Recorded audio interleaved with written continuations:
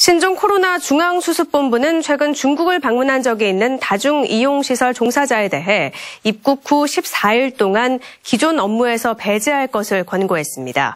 보건복지부 장관을 본부장으로 하는 중앙수습본부는 이 같은 지침을 전국 지자체와 기관, 단체에 오늘 통보했습니다.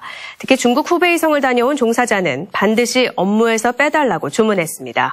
아울러 한국산업안전보건공단은 외국인을 다수 고용하거나 왕래가 잦은 건설 제조 서비스 사업장에 마스크 72만 개를 지원할 예정입니다.